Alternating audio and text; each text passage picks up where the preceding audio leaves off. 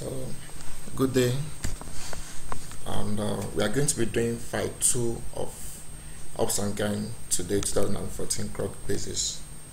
So, we divide it into two parts. This is the first question 20 year old patient complains of amenorrhea, you know, and objectively, there is hirsutism and obesity with fat tissue prevailing on the face and so on. So, but the most important to note is obesity, and which you can find in some other conditions here. But most importantly, you notice the striate cutis. There is always striate cutis in condition of uh, Itsenko-Cushing syndrome. Itsenko-Cushing syndrome. So you can go further to read other things. Though in this page you can also have this in Babinski-Froehlich syndrome. This is adiposo uh, genital dystrophy, it's one of the major causes of uh, hypothalamic amenorrhea. Stein uh, Leventhal syndrome is also the same thing as um, polycystic ovarian syndrome. Sheehan syndrome, they will give you history of a patient with uh, blood loss postpartum hemorrhage. internal syndrome, one of the major causes of ovarian amenorrhea. So this striacutis is typical for Itsenko-Cushing syndrome. 27-year-old woman suffers from pyelonephritis of only kidney. You know, you must have come across many patients having um, gestational pyelonephritis, uh, maybe in second trimester or third trimester. But in this patient, it's just at 11 weeks of uh, gestation, 11 weeks, which is really, really dangerous for the health of the pregnant mother. So in this condition, what is doctor's tactics? The best thing to do here is to uh, do immediate pregnancy interruption as far as this case is concerned. 18 year old primigravida in her 27 to 28 week of gestation underwent an operation on account of acute phlegmonous appendicitis. You know, in the post-operative period, what measures do you take? What do you want to prevent in the in this post-operative period? The most important thing is to prevent like a uh, miscarriage or to prevent any form of abortion as a result of the surgical procedure. That's the most important complication that you want to actually uh, prevent, and that is what they mean by non-carrying of pregnancy. Non-carrying of pregnancy. 24-year-old female patient complains of uh, acute pain in lower abdomen uh, that turned up after a physical stress. She was nausea, vomiting, and body temperature of 36 and 6 dry mouth. She has a right ovarian cyst in history. Right ovarian cyst in history. By manual examination reveals that uterus is dense, painless, of normal size. So the left fornix is deep, the appendages are not palpable. And you can see a round elastic uh, mobile structure that is about 7 by 8 centimeter large. So what is the most likely diagnosis? This is still ovarian cyst and the cause of the acute pain is probably due to the torsion of that particular cyst. When the cyst is twisted, it becomes very painful in the patient. So that's the, this is the most correct answer here. Uterine size is then paleness out of normal size could exclude uh, pregnancy in this particular patient. A parturient woman is 23 years old vaginal obstetric examination reveals full cervical dilatation. You know, fetal head is a plane of pelvic outlet. Sagittal suture is in uh, mesopelvic uh, pelvis. This is like the region where you have the anterior-posterior diameter and the transverse diameter being equal. So the fetal head in such presentation is going to be uh, suboccipital uh, bregmaticus. This bregmaticus is where the coronal suture and the sagittal suture meets, and that is the most common uh, diameter you are going to be having in this kind of condition. And even if they are not telling us about this uh, pelvic pelvis and they just ask a normal question like this, it's still best to go for suboccipital bregmaticus diameter. Alright, if we have a 26 year old woman admitted to hospital for abdominal pain and bleeding from the genital tract, abdominal examination with the uterus size of 9 weeks of pregnancy cervical canal let a finger through. Fetal tissues could be palpated in the orifice. Normally, you are not supposed to palpate uh, fetal tissue in the orifice. So there was moderate vaginal bleeding. You know, you're having abdominal pain with bleeding. Already you are thinking of one form of abortion. But since you can actually uh, palpate the fetal tissues in the uh, in the orifice of the cervix, your tactics of choice is that you are thinking that this is a patient with an incomplete abortion. And the best thing to do there is to extract the remaining fetal tissue because after some time it might become uh, uh, toxic for the mother. So it's instrumental extraction of fetal tissue. This is like a case of incomplete abortion. That's the best thing you do. A 40 year old woman has had hyperpolymenorrhea and progressing algodysmenorrhea for the last 10 years gynecology examination revealed no changes of uterine cervix discharges are moderate of chocolate color. And just to save time also in the exam we've said earlier that when you see chocolate color you are thinking of endometriosis. But here you discover that the appendages are not palpable. That is this is not like uh, endometriosis in the ovary or in the fallopian tube or so. This is directly in the uterus itself. So um, what is the most likely uh, diagnosis. So discharge from the uterus itself is the one that is having the chocolate So this is uterine endometriosis. Chocolate color is always endometriosis. On the 10th day after discharge from the maternity house, a two-year-old patient con uh, consulted the doctor about body temperature pre This shouldn't be two-year-old. You can think maybe of 28 or something. Pain in the right breast mammary gland is enlarged. This is just 10 days after delivery and patient is having uh, lactostasis and every other thing that has to do with the mammary gland. The fact is what is the most likely diagnosis? This is associated with breastfeeding. This is lactational mastitis. Like not any of this just 10 days lactational mastitis even though the temperature of up to 39 and they told you that fluctuation is absent so you are not thinking of abscess. All right we have during the dynamic examination of a uh, parturient woman in the second stage of labor you can see that the fetal heart rate fell to 90 100 and we've had a similar uh, question like this. And we then I gave us some indications for uh, forceps delivery but you will notice in also in this particular patient pointing to forceps delivery and not cesarean section is the fact that the vaginal examination revealed that there is complete cervical uh, dilatation. In this kind of patients, you might want to assist just with forceps and not cesarean uh, delivery. So reading all through other things because that these are normal variants. So what plan of further labor management should be recommended? It is the application of forceps. I don't know what's uh, I'm not familiar with this uh, application cavity forceps, but I know this is the usual obstetric forceps. 27 year old sexually active patient complains of numerous vesicles. Vesicles, um, I'm sure you are thinking of uh, possibly something viral and most likely together with right sex sleep itch and burning. Eruptions regularly turn up before menstruation and disappear 8 to 10 days uh, thereafter. So it's actually none of this condition is, uh, is this is herpes simplex, one that produces catalytic vesicles and uh, is before menstruation and disappeared eight days after menstruation. This herpes simplex virus. 36 year old female presented to a gynecological hospital with significant bleeding from the genital tract. See, you have bleeding and one month delay of menstruation. Bimanual examination reveals soft barrel-shaped cervix, the cervix of normal size. Appendages are unremarkable on both sides.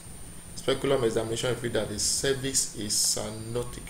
You see, normally cervix is not supposed to be uh, cyanotic, and the after one month, they are supposed to tell us that there's a little enlargement of it, but here we have uterus being of normal size. So Speculum examination cervix was cyanotic enlarged with the external ovis disclosed up to 0.5 centimeter. HCG test was positive just to further indicate that this patient is pregnant. What is the most likely diagnosis? When they tell you that cervix is cyanotic, think first of a cervical pregnancy. It's also an abnormal variant, cervical pregnancy. All right.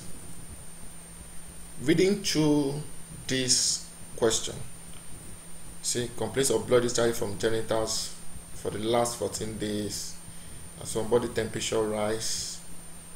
Five weeks ago, she underwent induced abortion in six to seven weeks. After abortion, yet a woman is having positive HCG test. What could be the major cause of that? The number one thing to think of is a chorioepithelioma.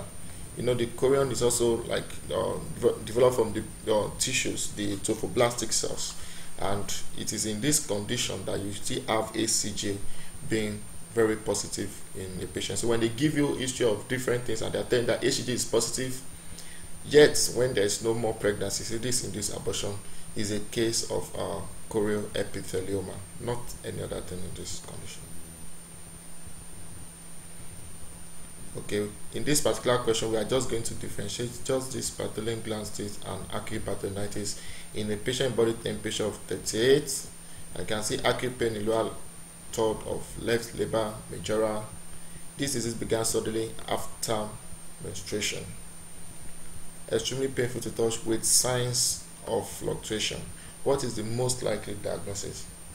Now, this sign, this symptom of fluctuation is a little bit misleading in this question, but take note of the temperature to be 38, and labia majora has a formation of 3 centimeters. So, if they are telling you that one part of the labia majora, the left part, is having such a formation, you are thinking of something to do with the uh, Bartholin gland. So, but the question is, it acute Bartholinitis or Bartholin gland cyst?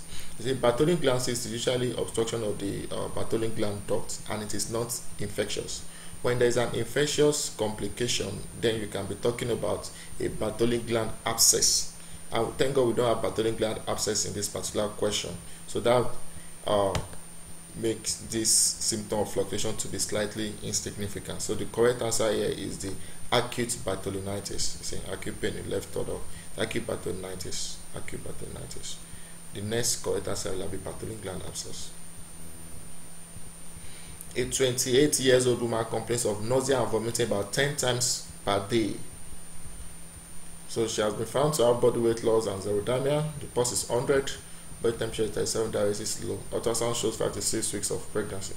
What is the most likely uh, diagnosis? So here we are talking about early gestosis and if a patient is having nausea and vomiting for about 10 times per day normally if it is the mild degree of vomiting you are talking about 2 to 4 times a day and in the moderate variant you are talking about more than 10 times uh, up to 10 times and more than 10 times a day so when they give any variant around 10 times or a little bit more than 10 times a day that is moderate vomiting of uh, pregnancy mild vomiting is 2 to 4 a 40 week pregnant secondary para is 28 years old. See, contractions are very active. Retraction ring is at the level of navel is hypertonic. Form of hourglass on auscultation fetal sounds are dull. At it is 100. Low in this patient. Blood pressure is 130. What's the most likely diagnosis? When they are telling you all these things, especially the fact that the uterus is hypertonic, in a child that the blood pressure begins to, uh, the heart rate begins to decelerate, the, the this particular patient due to this hypertonicity is at risk not yet if it is assuming the answer is uh, complete hysterorrhexis hysterorrhexis is uh, uterine rupture the blood pressure is not going to be normal. It's going to be like maybe they can tell us 80 or so patient is in shock but they give us this blood pressure for a reason. This patient is simply at risk of hysterorrhexis due to hypertonicity of the uterus. So this is just risk of uterine rupture. After delivery and revision of placenta, there was found a defect of placental lobule. General condition of woman is normal, uterus is firm. There's um, moderate bloody discharge. After delivery and revision of placenta, so you find defect of placenta. Speculum inspection of birth canal shows absence of laceration. What action is necessary? We've talked about this more than two occasions when there's defect of placenta tissue you want to do a manual exploration of the uterine cavity to remove the uh, the part of the placenta left uh, behind. This is a 25 year old patient that complains of body temperature is 37, pain at the bottom of her abdomen and vaginal discharges. Three days ago, she was in her 11th week of pregnancy. She had an artificial abortion. So what could be causing uh, temperature rise and signs of uh, infection in a patient that just undergone artificial abortion? See, vaginal discharges are sanguinopurulent. This is like uh, pus together with um, blood admixtures. What is the most probably diagnosis? And the best answer here is something that is happening after this abortion. So this is not uterine perforation, this is endometritis. Endometritis, post uh, abortion endometritis. You know, in uterine perforation, that's we had a question like that in which we had to use an intrasound sounding or probe to uh, to evaluate that. A 25 year old pregnant woman at 34th week was taken to maternity house in a very grave condition. Notice the blood pressure is 170 by 130, and then you are now having convulsions, convulsions, tonic and clonic convulsions. And we said that the difference between severe preeclampsia and eclampsia is the presence or absence of is the presence or absence of uh, seizures.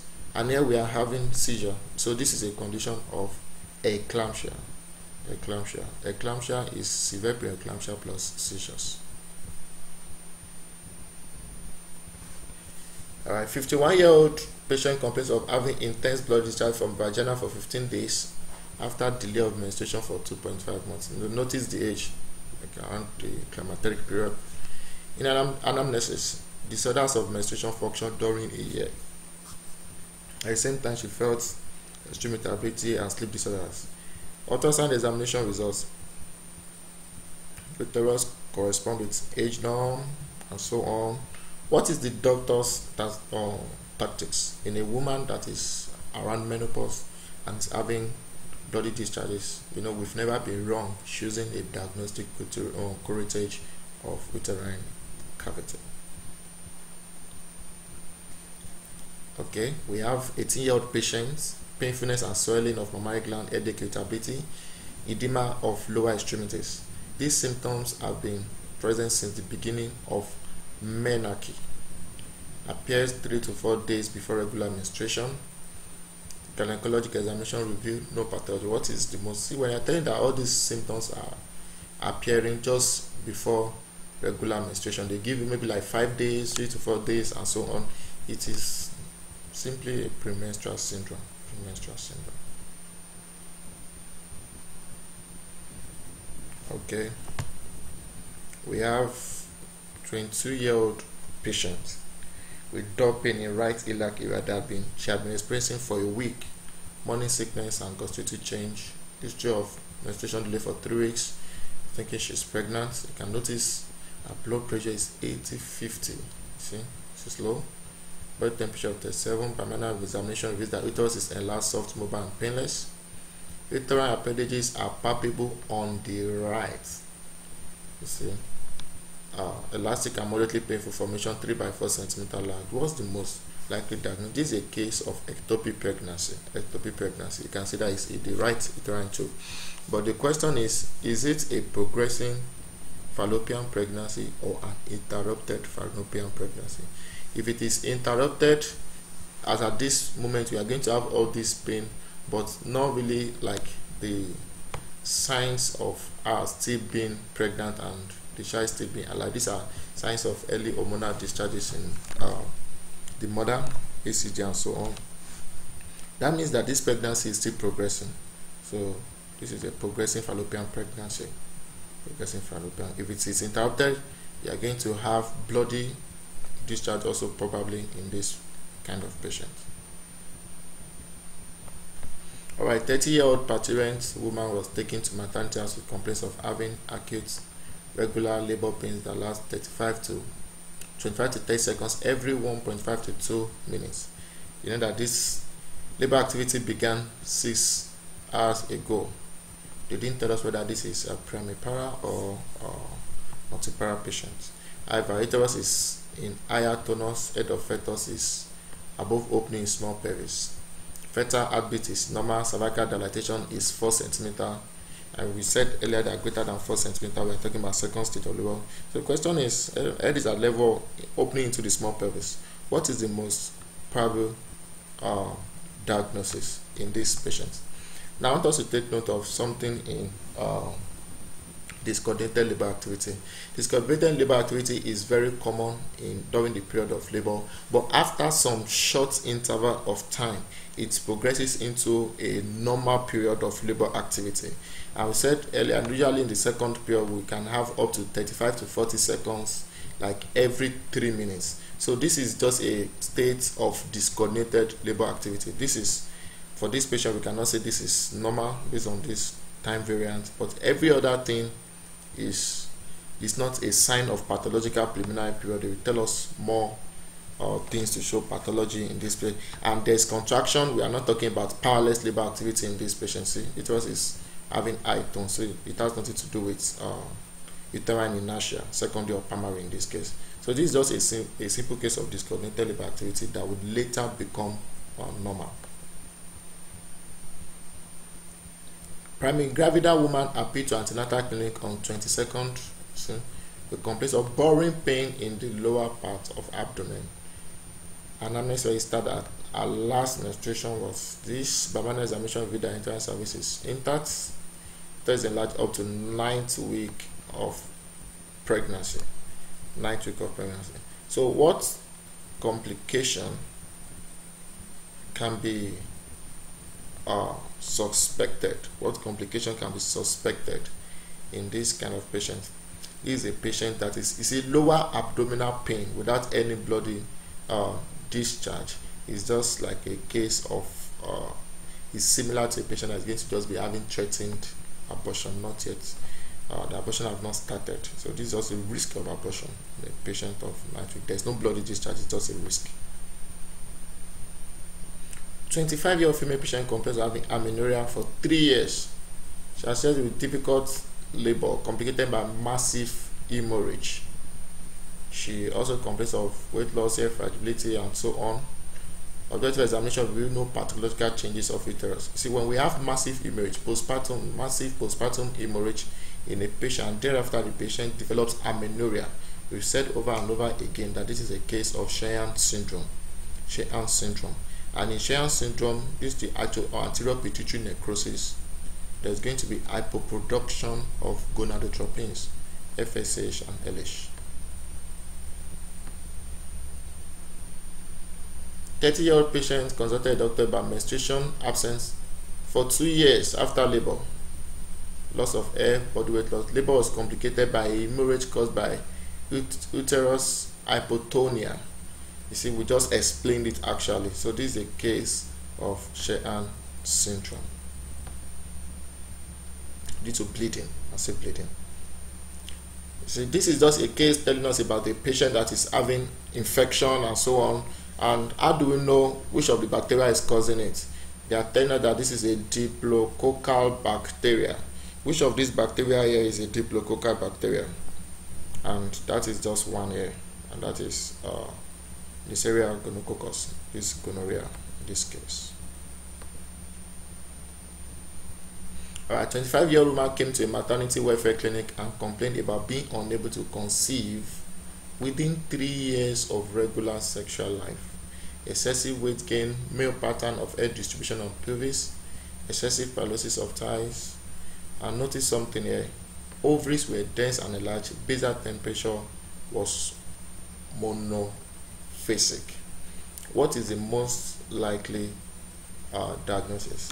In such patient that is having weight gain and so on, he said within three years of regular so we are not talking about anything um, premenstrual syndrome no tubercular varicose is just going to be signs of uh, inflammation in the uh, ovary and because she's actually having uh, even though there is male pattern but we still have signs of puberty in this particular patient. So it is this is not uh, gonadal dysgenesis. This is a patient that is uh, based on the fact that the basal temperature is monophasic. It means that the ovary is not performing its function and its sclerotic tissue will not secrete will not be secretive. And that's why the answer is uh, sclerocystosis of uh, ovaries. And that's why, just based on the fact that basal temperature was um, in these patients.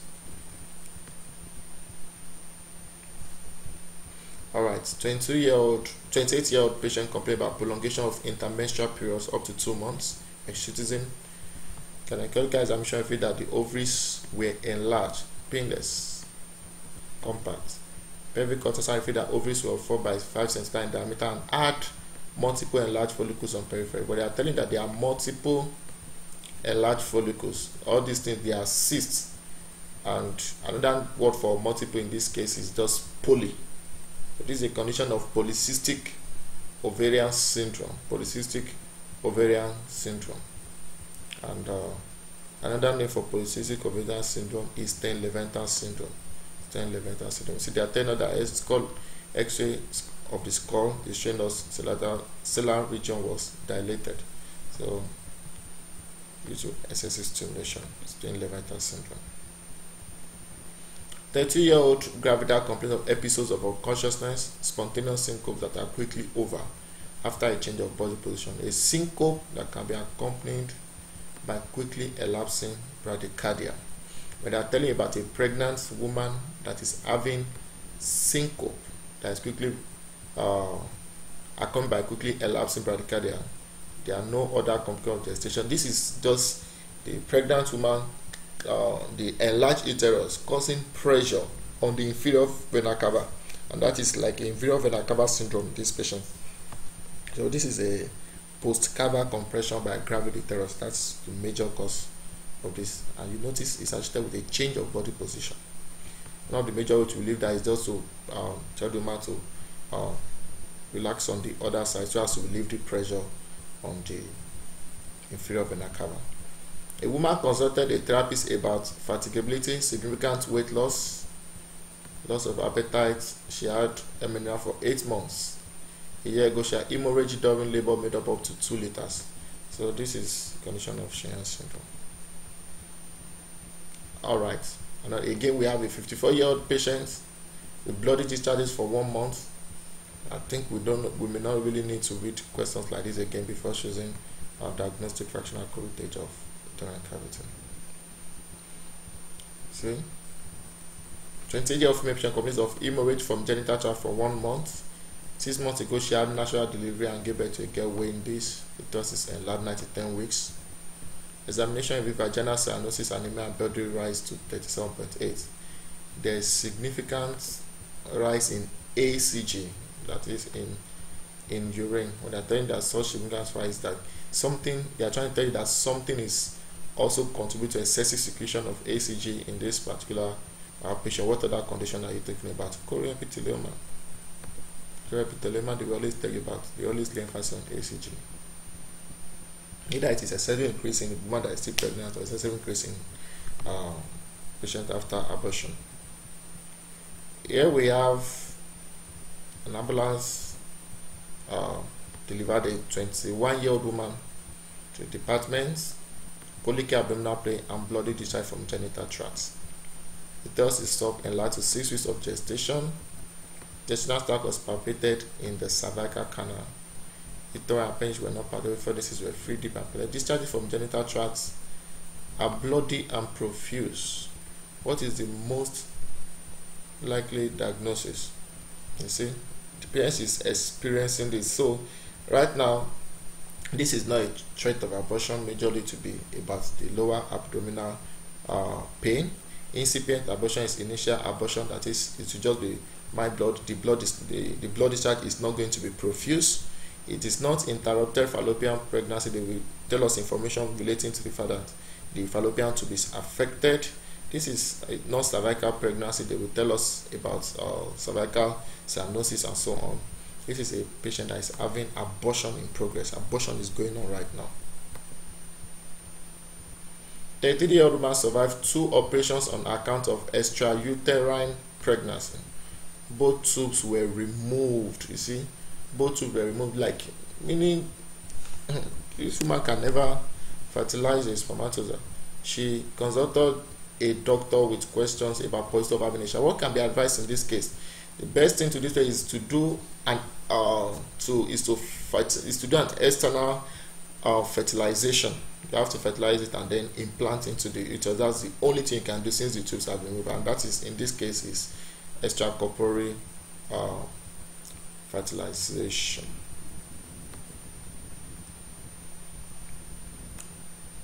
On the fifth day, after reading the whole question and everything, the fact is pathologic pathoscopic examination revealed being shaped again we have a we have diplococci. The major diplococci here is uh, acute gonorrhea endocervicitis gonorrhea.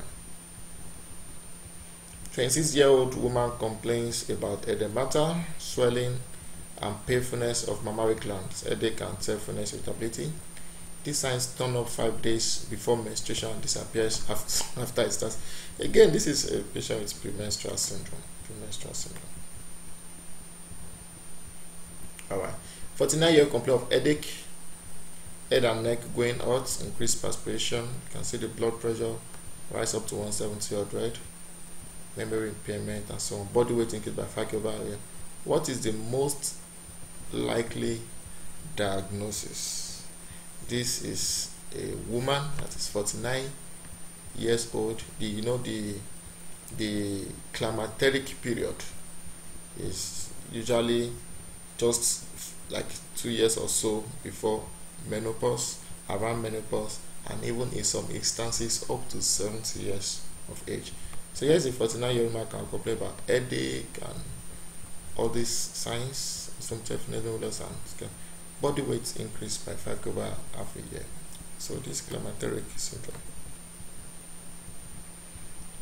We're having a woman with temperature of 38.8, complaints of acute pain in lower abdomen, and uh, sexual life out of wedlock, and two artificial abortions. There are no changes into uterus. The appendix are enlarged and painful on both sides. Vaginal discharges are purulent and profuse. What do you want to do? You want to do a bacteriological analysis of such purulent discharge. So pathological and bacterioscopic analysis. Whenever you have a purulent discharge, do such pathological uh, analysis. 27 year old patient, second labor uh, delivery was at term, normal course, third day of postpartum period, body temperature is normal, pulse is normal, blood pressure is normal, everything is normal. Lochia is bloody, like moderate, as on third day, begin to thereafter we'll be having cells. So what is most probably this is just a physiological cause of postpartum period.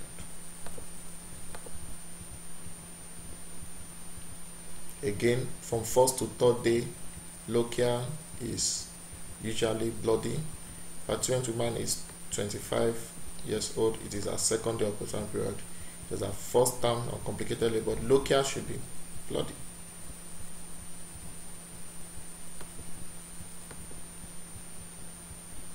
Thirty-two year old patient consulted a doctor after being unable to get pregnant for five to six years.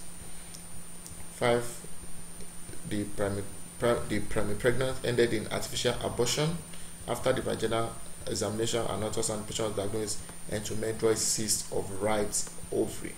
What is the optimum um, treatment in this condition? See, endometrioid cyst of right ovary, and the patient is unable to get pregnant for like five to six years. This patient is going to be in need of a surgical laparoscopy. So we are going to suffer for now and almost immediately we should expect the second uh, video completing this particular file. Have a nice day